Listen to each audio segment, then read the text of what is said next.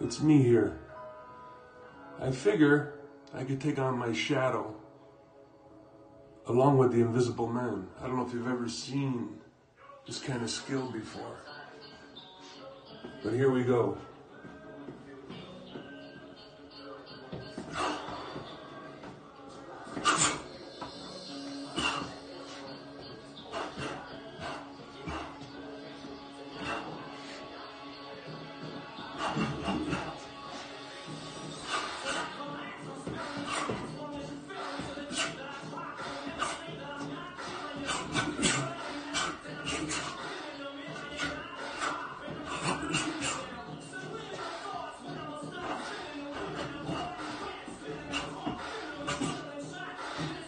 Thank